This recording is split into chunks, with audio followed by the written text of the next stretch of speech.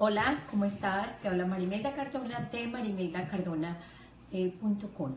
Hoy vamos a hablar eh, una frase que, me gustó mucho y es eh, la siguiente, las voy a, a leer. Lo que distingue al hombre de los otros animales son las preocupaciones financieras. Las preocupaciones financieras realmente, em, la verdad, como, eh, como la frase lo dice, es lo que realmente nos hace seres, seres que tenemos que tener un valor por lo que es el dinero, que tenemos que empezar a trabajar en, para un futuro mejor con respecto a tener el dinero. Eh, cada vez eh, que me hago mayor, cada vez que, tengo un año más, o sea, no te está hablando una muchacha de 20 años, eh, te estoy hablando de una edad em, media, estoy entre em, en, los 50, en, la edad de los 50, donde cada vez que me hago más mayor, le veo más importancia al dinero. Eh, tuve, llené una bancarrota precisamente en este año, en enero, en enero 24, y, realmente te podría decir, em, a esta edad se supone que yo me iba a jubilar, se supone que yo ya tenía eh, una jubilación hecha y sin embargo hoy estoy aquí y eh, llené apenas la bancarrota. Pero lo lindo, lo bueno es que si yo supe hacer dinero, si yo eh, pude, em, digamos, hacer, tener propiedades, invertir y perderlos, eso quiere decir que yo tengo una habilidad. ¿Por qué los perdí? Porque tenía una manera de pensar, tenía una, tenía un, digamos, unas creencias y esas creencias acompañadas de mis decisiones, acompañado de una cosa que se llama la pereza, entonces hizo que yo no me hiciera cargo de, eh, de, de, esos bienes o de esas propiedades y simplemente eh, hice a un lado y me quité, no asumí la responsabilidad.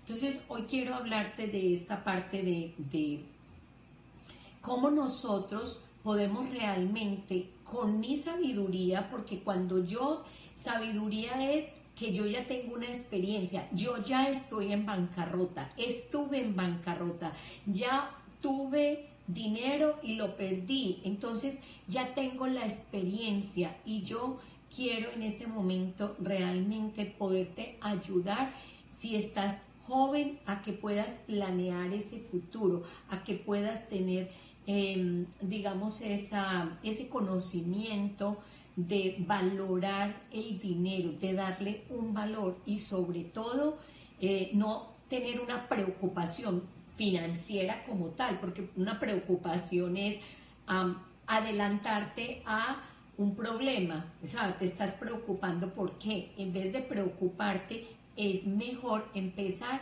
a tomar una acción, empezar a planear, empezar a decir, bueno, yo qué quiero para mi futuro, porque em, precisamente eh, se preocupa quien no toma acción. Si yo en ese momento estoy tomando acción y tengo que hacer lo que tengo que hacer, no estoy preocupada, pero la preocupación entonces te la da esa parte de, de lo que es la pereza. O sea, una persona perezosa es una persona que se preocupa mucho. Si eres y estás muy preocupado y tienes muchas preocupaciones financieras es porque no estás haciendo y no estás tomando acción a lo que realmente te corresponde. Entonces, vamos a hablar de ese tema.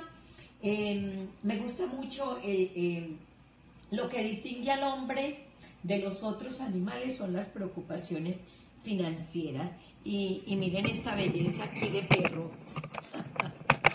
que les quiero mostrar. Mírenlo. Se mete bajo la... Mira. Hola, Tony. Ese Tony no se preocupa, tengo más preocupaciones financieras yo. ¿Cierto, Tony? Pero Tony no se preocupa por el futuro. Oiga, Tony, ¿usted por qué no se preocupa por el futuro? Ah, no, claro, aquí estoy yo para mantenerlo a usted, ¿cierto? Y entonces, ¿qué, ¿cuál es su trabajo? Acompañarme, meterse bajo la silla. Mira, ahí tengo una buena lección. Ve, mira, le hablo y no me habla.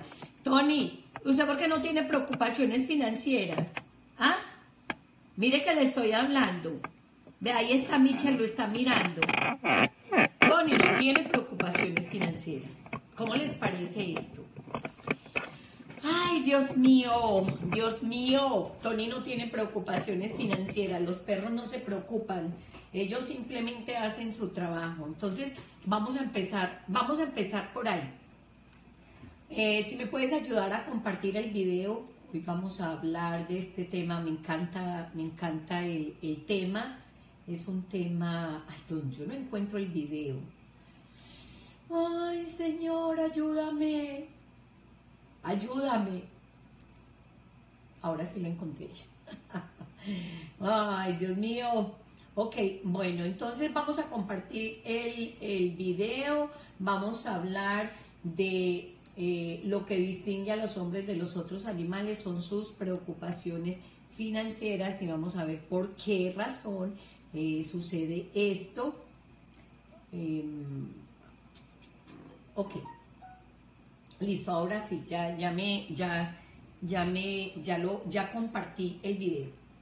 A ver, eh, nosotros nos preocupamos o tenemos preocupaciones eh, financieras porque eh, la preocupación, la preocupación es cuando yo me preocupo es porque yo estoy pensando algo que es para el futuro, pero que no tengo un plan de acción definido. ¿Sí? Porque cuando yo sé exactamente lo que yo quiero, entonces tomo acción y la preocupación no, eh, no existiría. Entonces, ¿qué hago yo? Eh, ¿Qué hace una persona cuando, cuando está preocupada? pues simplemente hay una inacción, hay, una, hay un miedo, hay una frustración. Y ese miedo y esa frustración te hace eh, tener un sentimiento que se llama la pereza. Y la pereza es el, um, yo diría, bueno, a nivel religioso, la pereza es un, uno de los pecados capitales, ¿sí? Uno de los pecados capitales más grandes que es la, la, pereza. Entonces, claro, la inacción te vuelve y te da la preocupación y la preocupación te da el, no sé qué hacer, el, se llama el no sé, no tengo idea, no tengo metas, no tengo claridad. Eh, y cada, cada vez te va generando más y más preocupación y no tenés un plan para ese futuro. Te estoy hablando, eh, puedes tener, no sé aquí cuánta gente joven hay, vamos a, a ver, no sé Pablo Salvador cuántos años tienes, Isidro Quirino, hola, ¿cómo estás? Sami Mogui, hola, ¿cómo estás? Yo sé que aquí hay gente joven, porque Sami creo que tiene, no sé, estás joven, Sami, creo que Sami está joven, Isidro también yo sé que está joven, en Diego Ruiz, no sé si estás muy joven, pero creo que sí. Michelle Méndez, sé que estás joven. En fin, veo que hay eh, Felipe, Viviana, también estás joven. Antonio Ríos está joven. La pereza es la madre de todos los vicios. ¡Bravo! Yes. Claro, y, y un perezoso siempre tiene preocupaciones financieras. los perezosos, los perezosos son los que no hacen el trabajo que tienen que hacer. Tony no es perezoso. Tony está haciendo su trabajo y es acompañarme, ¿cierto, Tony? Y él sabe, él sabe cuál es su trabajo. Entonces, la preocupación es precisamente el no tener la acción con respecto a tu misión, a tu, a tu, a qué viniste a esta tierra, cuál es esa misión que tienes, no tienes cuál es esa meta, cuál es ese objetivo para este año, qué es lo que quieres lograr, para dónde, o sea, qué es lo que quieres porque empecemos por ese tema. ¿Qué es lo que tú deseas? Yo tengo aquí preparado algún tema. Me dijeron que no contestara, pero... ¿Aló? Oh, no. Bueno, ahorita te llamo que estoy haciendo el video. Chao. Ok. A ver. Em, vamos a, ver. Em, vamos a, Dame un segundito, que es que aquí tengo el tema preparado, pero no me está funcionando. Señor, ayúdame. Mira. Voy a empezar Ok, ok. Un, segundo que es que tengo aquí. En lugar de preocuparte, ocúpate. Exactamente, Vivi. Pero el detalle es el siguiente. Gracias por ayudarme y gracias por, por, eh, por eh, que este tema me parece que es muy interesante. Y estoy hablando de, es una secuencia. Y la secuencia es la siguiente. Primero, nosotros todo es posible, inventa tu futuro. ¿Listo? Sí, o sea, esto, esto está en este libro. Y estamos, quiero que, sepan que estamos hablando de ocho factores donde nosotros estamos atrapados. Nosotros estamos atrapados en ocho factores. Em, este, este libro, lo, le voy a colocar dónde está el libro para que ustedes lo puedan leer y podamos entender y podamos ir haciendo una, una relación. Entonces, primero, entendamos, esto es todo un proceso.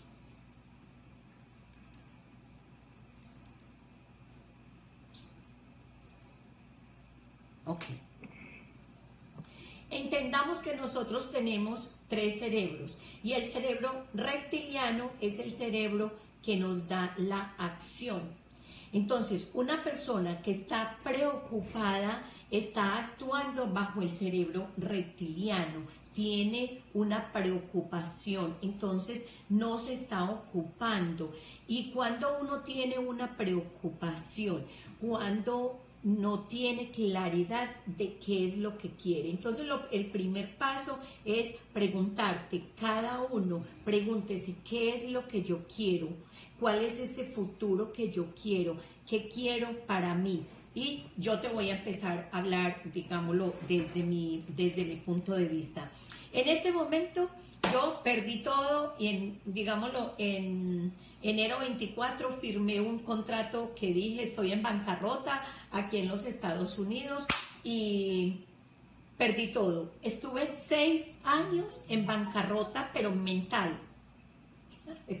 Lo más berraco es eso, que estuve seis años en bancarrota mental Oh my God. por, eso, mm, por eso estoy estudiando em, cómo cambiar la mente, por eso estoy estudiando cómo reprogramarme, porque te puedes quedar en estado de preocupación, te puedes quedar seis años, 60 años, toda una vida o morirte y no darte cuenta que estabas preocupado.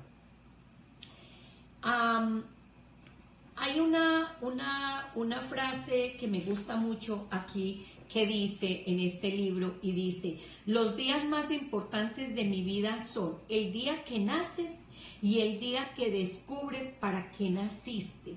Cuando tú descubres para qué naciste, no importa que sea a los 50 años, no importa que sea a los 60 años, no importa que sea a los 80 años, como mi papá que ya que ya está tan viejito, pero puede durar 17 años más de vida, porque su papá se murió de 97, ahí le quedan, eh, por herencia, por expectativa de vida, le quedan 17 años más. Entonces, no importa, ay, yo no sé por qué, pero estoy como que no me acomodo, no me acomodo. Entonces, ahí, no, aquí me queda mejor, no importa cuántos años tengas, no le des importancia a la edad que tienes ahora. Puedes tener 20 años y si tú empiezas a planear, a tener un plan para el futuro y empiezas a definir qué quieres lograr y empiezas a tener una meta, yo te aseguro que la preocupación se te quita. ¿Por qué? Porque empiezas a ocuparte y empieza tu cerebro. Tu cerebro lo primero que necesita es claridad. La pereza, como decía ahorita mi amiga Vivi, mi editora Vivi, decía, em, la pereza es la madre de todos los vicios y en lugar de preocuparte, ocúpate. Entonces el primer paso que yo te invito es a reconocer que esa preocupación financiera que tienes por el futuro es porque no sabes exactamente qué quieres. Te puedes, eh, o eres una persona como yo que acaba de perderlo todo, que acaba de perder todo. Entonces yo me decía, es que si yo me muero, a mí no me van a echar la casa, si yo me muero, a mí no me van a echar el carro, si yo me muero, a mí no me van a echar nada y me olvidé por seis años de los bienes materiales, porque a mí el dinero no me hace feliz, porque lo más importante en la vida es el cariño y el afecto de la familia, porque lo más importante de la vida era, no sé, me, me dio una lista de, de cosas. Cuando mi mamá se enfermó, el año pasado que le dio cáncer y estuvo en el hospital hospitalizada cinco meses, yo no sé y creo que cada una de las cosas que nos pasan, em, cada experiencia que nosotros vivimos, a veces nosotros decimos, ¿por qué me pasa esto? Mm, mm, ¿Por qué mi mamá se muere de cáncer? ¿Por qué mi mamá sufre tanto? ¿Por qué mi mamá duró nueve meses, casi un año enferma en una cama y murió de hambre? textualmente porque ya no podía comer del cáncer en el estómago y porque vivía esta experiencia y a veces quisiéramos como que nos colocaran una inyección para que nosotros no viviéramos ese dolor y ese sufrimiento. Hoy me doy cuenta que ella lo que hizo con esa enfermedad y durar una enfermedad tan larga que fue de casi un año, me di cuenta que cada vez que yo cumplo un año más, me doy cuenta y confirmo el valor y la importancia del dinero. o, sea, yo ya no puedo devolver el, el, tiempo, yo ya no puedo decir, si yo tuviera 20 años menos, eh, que tendría hoy a los 50, ¿sí? Pero con la mentalidad que yo tenía, con la forma de pensar, era muy difícil hacer cambios porque eran creencias ancladas en mi ADN y eso me obligó a estudiar neurociencia, a estudiar cómo funciona el cerebro, a estudiar la biología y a estudiar eh, de dónde vienen esos patrones, de dónde vienen esas creencias de yo no, yo no tengo, eh, yo no puedo, yo no merezco, yo no sirvo, yo no creo y eso hizo que yo tomara decisiones que me llevaron a la bancarrota. Cada vez confirmo más que el dinero sí es muy importante, Dios y plata.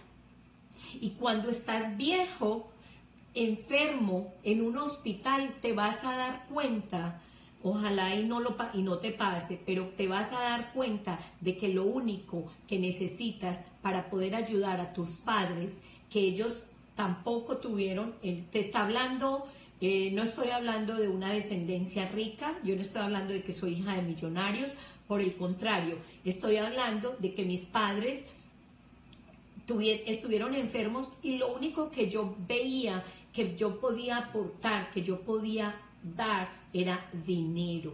Y cada vez que me hago más vieja, le doy más valor al dinero. Entonces yo esto se lo quiero eh, brindar a esta gente, a mi hijo que tiene 20 años y que yo le digo, Santiago, mira, yo hoy volví a tener valor por el dinero. Por seis años perdí el valor del dinero. Por seis años dije, si me muero no me llevo nada.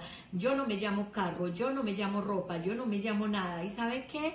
A mí que me, lleve el carajo. O sea, textualmente, firmé bancarrota y no, eh, se me cayó el pelo. Este pelo es nuevo. Eh, me enfermé de tiroides y me di cuenta de que tampoco me podía apegar a lo material y no me podía suicidar, no me podía caer, caer en una depresión. Pero hoy vuelvo y me levanto y vuelvo y digo, sí es muy importante el dinero y sí le quiero dar la importancia al dinero y sí quiero tener acción porque ese cerebro reptiliano es el que me lleva a la acción. Pero si yo sigo con esas creencias que tenía, a mí no me va a dar, no me va a provocar hacer nada. Entonces, te invito a que te pongas una meta y um, quiero decirte, dame un segundo. Em, ay, es que tengo aquí, tengo aquí, eh, quiero decirte que no es, o sea, una cosa es la avaricia, ¿sí? Avaricia es querer acumular y acumular y con ese miedo y, atesorar. Yo, yo no te estoy invitando a que tengas avaricia, yo te estoy invitando a que dejes de trabajar tan duro que te invito a que empieces a ahorrar, quiero que empieces a ver con ojos de inversión, con ver en ojos de, imagínate, hoy estás sano, hoy estás joven, hoy estás saludable. Yo textualmente tengo 50 años, pero tengo todavía, digámoslo, ya no me voy a jubilar a los 57, ya me voy a jubilar a los 80, pero tengo 10 años productivos. La pregunta es, ¿qué voy a hacer en los próximos 10 años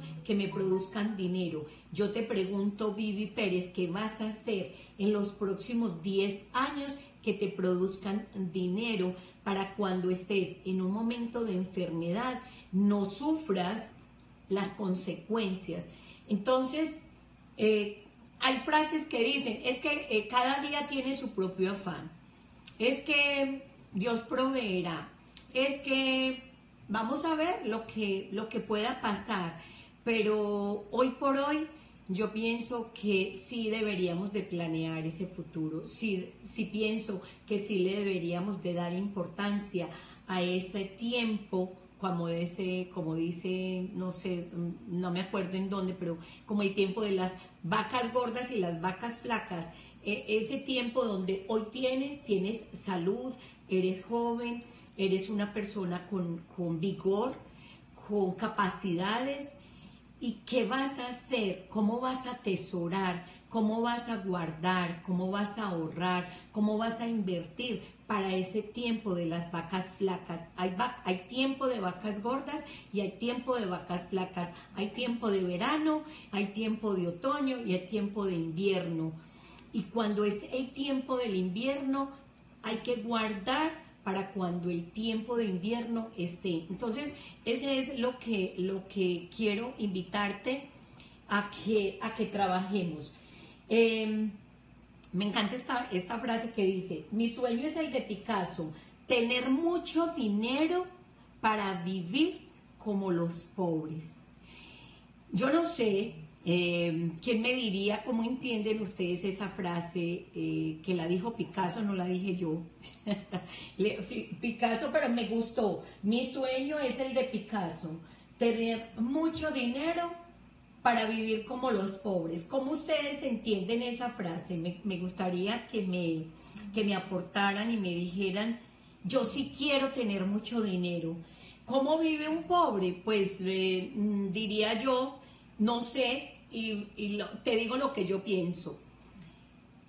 El pobre vive con preocupaciones financieras, entonces yo viviría más, yo diría más bien y arreglaría la frase de esta manera.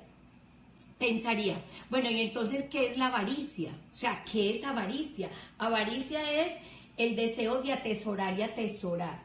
Entonces yo más bien quiero aprender a vivir, a valorar lo que yo tengo en este momento y para, para, mí entonces el significado de pobreza es aprender a vivir con lo que yo tengo, podría ser. Entonces, pero tener mucho dinero para vivir como los pobres, o sea que es para vivir como tranquilo, pienso yo, no sé ustedes qué opinan, vamos a ver qué opinan ustedes de esa, de esa frase que, me parece interesante. Eh, pero sí quiero enfocarme en, en trabajar, en tener una meta y cuando uno tiene una meta, cuando uno tiene un propósito, entonces tiene claridad y su cerebro reptiliano, que es el que actúa, le va a dejar esa pereza. Eh, estaba mirando por acá eh, sobre, la, sobre lo que es la pereza. La pereza, cuando, es una, cuando una persona tiene pereza, no le provoca actuar, no le provoca hacer planes, no le provoca atesorar nada, no le provoca eh, eh, eh, educarse financieramente, no le provoca entender, digamos, cómo manejar el ahorro, cómo invertir, cómo planear el futuro. Una persona con pereza no le provoca nada. Entonces, eso hace que tu cerebro reptiliano no te preste neuronas para poder tener ideas y para ver realmente esas oportunidades que te da la vida. Bueno, em, ¿cómo, eh, ¿cuál es el camino hacia, hacia la riqueza? Esa es una pregunta. Bueno, ¿y cómo hago yo para no tener preocupaciones financieras? Y entonces, María Imelda, ¿cuál es el camino hacia la riqueza? ¿Cuál es ese camino en este momento, para mí, yo voy a empezar de cero. Imagínate qué tristeza, pero es una realidad. Qué tristeza que yo a los 50 años voy a empezar de cero. ¿Qué es lo que yo quiero? Vos, si tenés 20 años, podés aprender de mi experiencia, podés aprender de mi sabiduría y podés aplicar los conceptos para que no caigas en eso. ¿Cuáles fueron los problemas que yo tuve, mentalidad de, pobreza, mentalidad de, de, fracaso, mentalidad de no merecimiento. Entonces, por eso es tan importante trabajar en tu forma de pensar, porque puedes hacer cosas que generen pérdidas en tu vida. Entonces, yo en este momento voy a empezar de cero.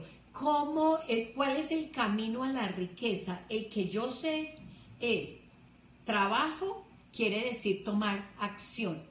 Como decía por aquí ahora, eh, como decía por aquí ahora Vivi, la pereza es la madre de todos los vicios y en lugar de preocuparte, ocúpate. Entonces, ¿cuál es el camino hacia la riqueza?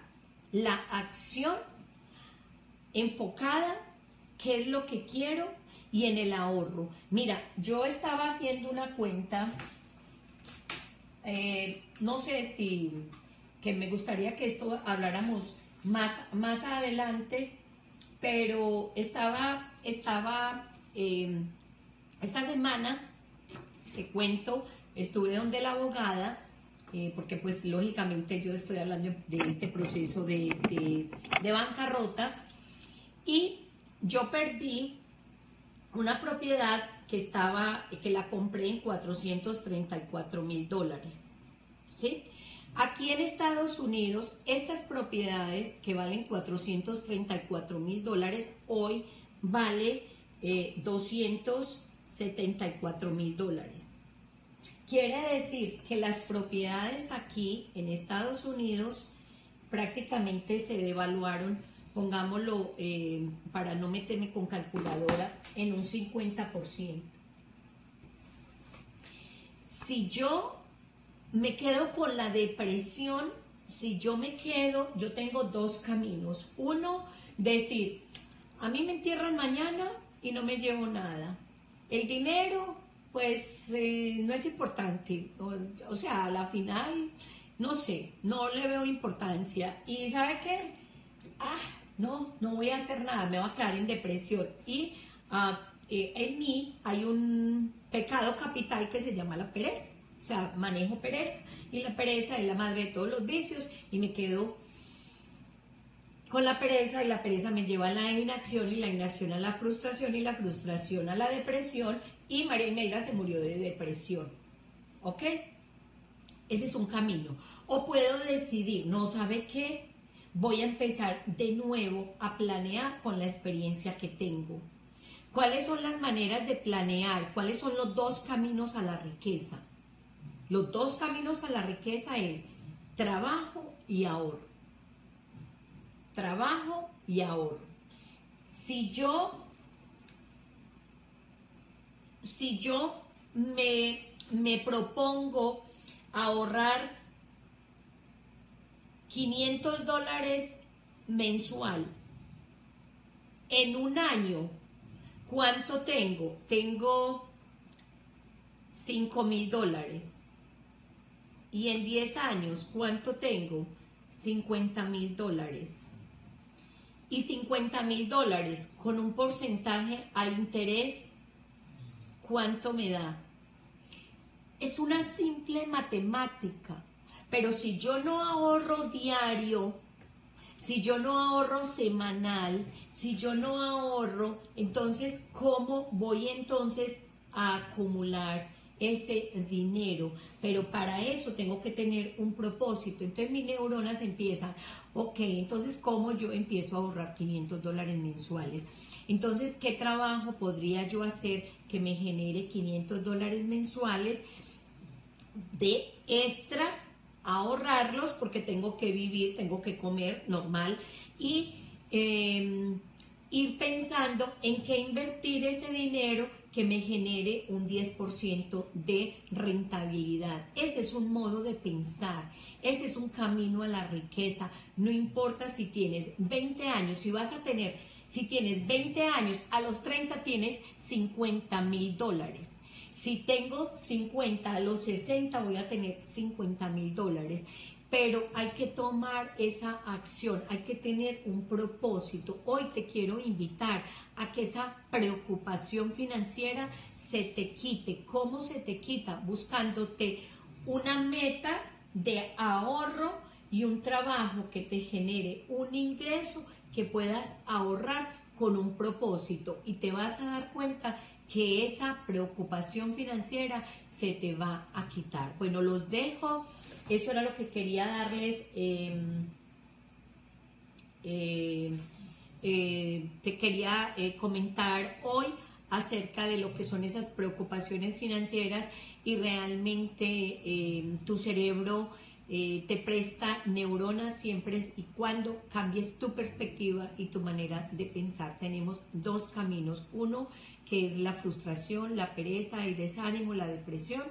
y el otro es eh, tener un objetivo, trabajo y un propósito de ahorro con una finalidad de que ese dinero esté eh, trabajando para nosotros, pero primero hay que hacer una tarea. Bueno, te dejo, mañana nos vemos a las 11 y 11 y espero que este video te haya gustado. Cuéntame qué aprendiste hoy. Bárbara Bustos Moreno. Hola Bárbara, ¿cómo estás? Débora Paz, cuéntame qué aprendiste. Em, a veces no sé si me escriben, si no me escriben. Eh, ¿Qué aprendiste hoy? Cuéntame qué vas a aplicar, porque lo más importante aquí no es que aprendí, lo más importante aquí es qué voy a aplicar, qué voy a hacer. Y hoy yo les voy a decir, me voy a enfocar en recuperar eh, todo lo que perdí, me voy a enfocar en, darme otra vez el ánimo, en dejar esa, bueno, yo ya no estoy deprimida, eh, cada vez valoro más, eh, cada, vez, cada que cumplo un año más valoro más el dinero, cada vez le doy más importancia al dinero, cada vez pienso la vejez con dinero es bien porque me voy a viajar, porque puedo disfrutar y puedo vivir aquí en esta tierra como un paraíso. Entonces, eh, el valor del dinero es que podemos mandar a todos al diablo. porque entonces yo con dinero puedo disfrutar de verdad puedo disfrutar, puedo comprar tiquetes, puedo ir a la playa, puedo conocer sitios diferentes, puedo transportarme, puedo moverme, puedo tener, puedo disfrutar, puedo gozar, eh, puedo poseer. Entonces, de verdad, eh, quiero que volvamos a retomar el valor del dinero, volvámoslo a, retomar, volvamos a quererlo, volvamos a, darle esa, esa mirada, porque a veces em, nos vamos como olvidando y a la final eso es lo único que mi papá en este momento eh, también diría yo em, necesita para poder estar bien y para poder estar, ir al hospital, llevarlo en taxi, llamar a los médicos, comprarle la medicina, eh, tenerle una estabilidad. Hoy confirmo que sí tenemos que planear el futuro, no le podemos dejar eso. Sinceramente, me atrevería a decir al, al destino, no no, yo puedo planearlo, yo puedo definir cómo quiero yo estar en los próximos 10 años. Y a partir de ahora voy a empezar a enfocar en volver a mirar la parte de las inversiones que me había olvidado porque eh, pensaba que si me moría no me iba a llevar nada y que no me echaba nada al cajón, pero vivir en abundancia y vivir em, con comodidad, pienso que sí vale la pena. Entonces es volver a retomar ese concepto. si tienen alguna inquietud, por favor me lo hacen saber. Eh, aquí en este momento no veo que nadie me ha comentado nada más. Así que, señores y señores, vamos a trabajar, vamos a ahorrar y vamos a buscar en qué invertir, porque yo me voy a dedicar a viajar por todo el mundo y a, y a vivir en este paraíso y, y a dedicarme a, la libertad, que de verdad que sí, es, es, muy rico, es muy rico uno poder seguir. Próximamente me voy por allá, eh, voy a ir a un crucero em, por el área de New York, eh, Miami, en fin, ahí sí que los invito para que empecemos a tener ese dinero para poder disfrutar eh, y los que están jóvenes empezar a ahorrar con la intención de que el dinero eh, eh, acumulen y puedan realmente mm, vivir de ese, de ese interés compuesto. Bueno, los dejo, nos vemos mañana con la ayuda de Dios a las 11 y 11. Vamos a seguir hablando de este tema porque estoy trabajando el primer cerebro, que es el reptiliano, y ese, ese reptiliano eh, necesita de mucha motivación para poder prestarnos motores y poder actuar. Bueno, los dejo, chao.